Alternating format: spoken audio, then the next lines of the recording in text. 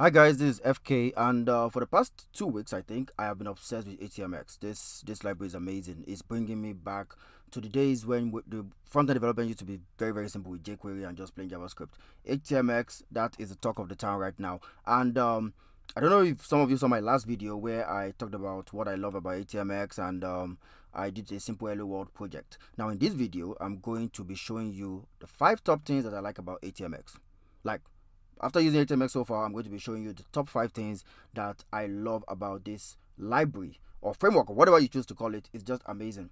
And these are the five. I, I created a demo, a demo project to sh showcase the five things I love about this library.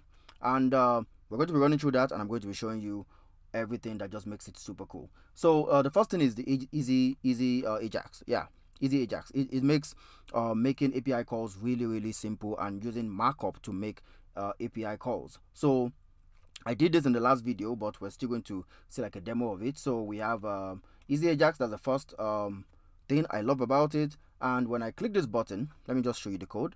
Uh, this button will send an HTTP request to my server. Let me go to the front end. Yeah, the front end. Yep. Let's open this. Let me just wrap the view. Let's get a view wrap. Let's pull this aside and scroll down yeah so this is the first item. So i have a button. When i click this button it's going to send a post request to this endpoint. I have this server lo running locally. So it's going to call the message endpoint and it's going to put the result into this um, paragraph which has an id of ajax result. So let's see how that works. Let's see how that works. Today we're just going to be showing code and uh, demos cool demos. So if i click this watch the network request uh, window here. When i click this makes the call and i get my response Simple, easy, straightforward. I didn't have to write any JavaScript. I just use markup and I'm getting my response and I'm displaying it down here. And I'm, you see a JSON response. So I can pick properties here and display it in my UI. So that's the very first thing, the very smooth Ajax. Uh, I think this is like this is like the when when when you want to make like your HTMX proposal, this is what you use to make a proposal. Like the way it makes HTTP requests is just seamless. So start with that. And the second thing is the animations pretty cool animations that you can just do by simply declaring markup. And here, when I click this button, I'm going to, you can see an animation fading. I'm going to fade something in. You'll click that and wait, and it just fades in. Using CSS transitions, it uses CSS transitions and it just fades in at the click of a button. Let, let, us do that again, that's pretty cool. Um, I'm going to refresh the page and click this again, and it just comes in. Welcome to our backend. This is a message. This is actually a message from an API call, easing in into our page. So animations, that's another cool stuff. Uh, we look at the code here. Uh, let's go to animations, and we just use a button to call the base endpoint for my Node.js uh, locally running server. Uh, we tell it to swap into the outer HTML of this uh, div with the animation result uh, ID. So, yep, that's that's that's simple code, simple markup, and you're getting amazing uh, behavior. You're getting amazing interactions. So that is the second thing. The cool animations is just so so is chef's kiss. So the third one is WebSockets. Yeah, WebSockets. WebSockets. We often need to get a lot of libraries here and there to make WebSocket work or write a lot of very very scary um, plain JavaScript code. But with HTMX, you can get WebSocket working right away. For example, I have a WebSocket server running here. No, this is my this is my normal server, my HTTP server. This is my WebSocket server. It's not displaying anything because it's just running. But we're going to be checking back on it soon. Now let us see how we can work with WebSockets. Now to inspect this, let's go here on the network tab, developer tools, and let's go to WS. That's WebSocket.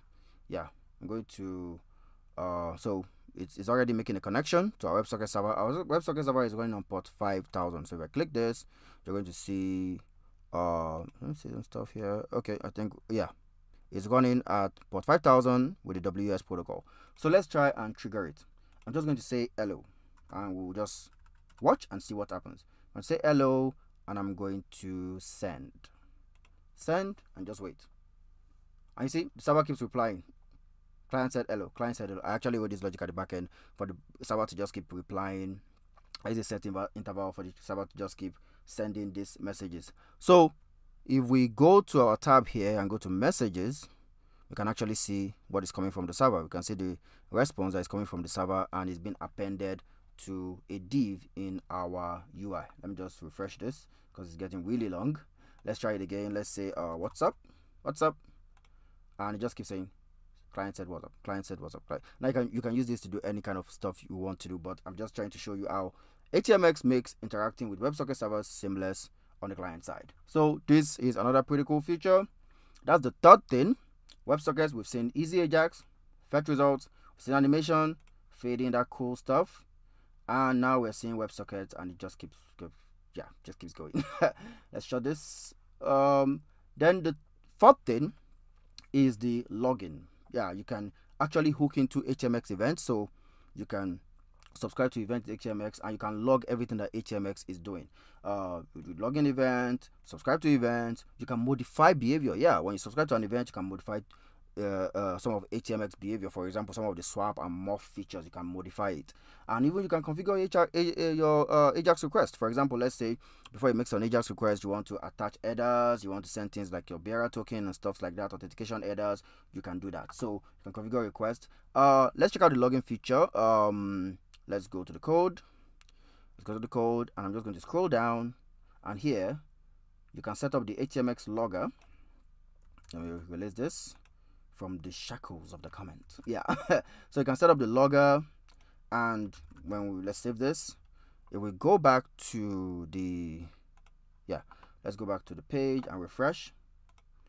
Now if will go to the console. Let's go to the console. Yeah go to the console. Yeah console um everything. We want all the messages. Yeah. You see it's beginning to log everything we're doing.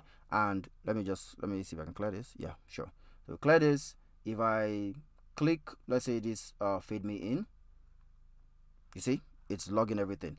It's logging everything it's actually logging currently we're making it log the event we're making it log the element and we're also making it log something else. Let me see that data yeah the data yeah the data.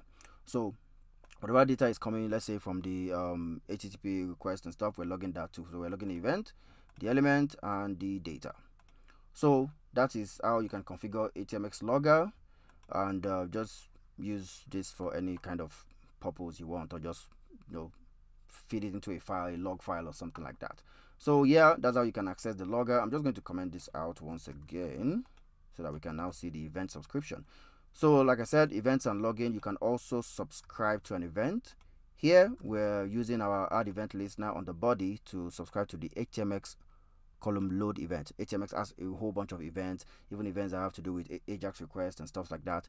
You have a whole lot of requests that you can subscribe to. For example, we subscribe to this load event and we're telling it to console.log uh, the detail of uh, every event and that specifically the element that is um, been added to the DOM. So if we save that and go to our browser, let's refresh.